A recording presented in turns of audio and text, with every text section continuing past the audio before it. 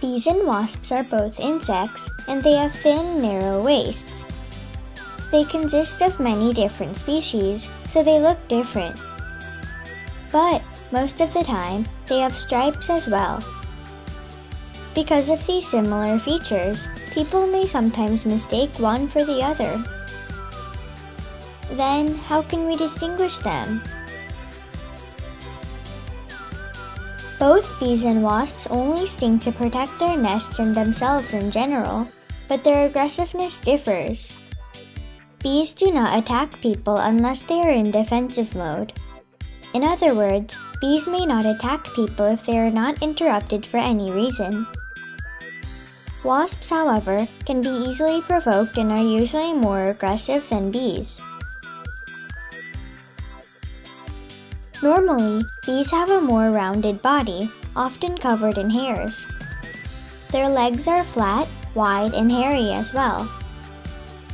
Wasps, on the other hand, usually have a smoother body with no or little hairs.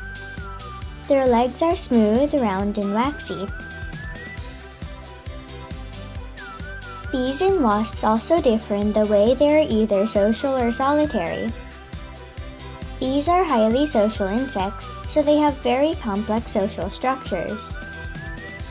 Each of them has a different job or responsibility in the colony.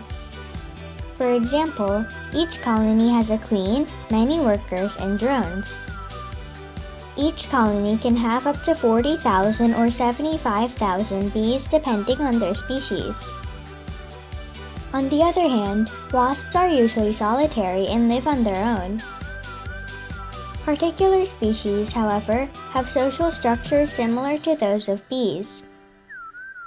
But the number of wasps in the hive is normally much smaller than bees. They can have up to 10,000 wasps in a colony, but usually no more than that. Bees and wasps nest in different places, and this totally depends on their species. Bees nest in various places, like a rock cavity, a hollow tree, a man-made structure, or even in the ground. Wasps can nest out in the open or inside of a structure. Sometimes, they nest in the ground as well. Also, the materials which bees and wasps use to build their nests are different. Bees usually build their hive out of beeswax, which is a substance produced from the end of their abdomens. However, different types of bees, like carpenter bees, could use different methods, such as drilling into wood structures.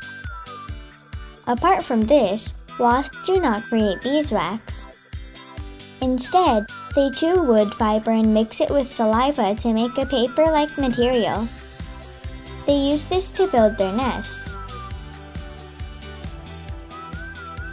Bees mostly eat pollen and nectar from flowers, and they do not usually prey on other insects.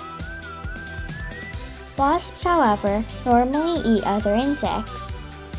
But there are exceptions because they sometimes like to eat nectar as well. Now you know how to tell the differences between bees and wasps. That's all I have for today. Thank you!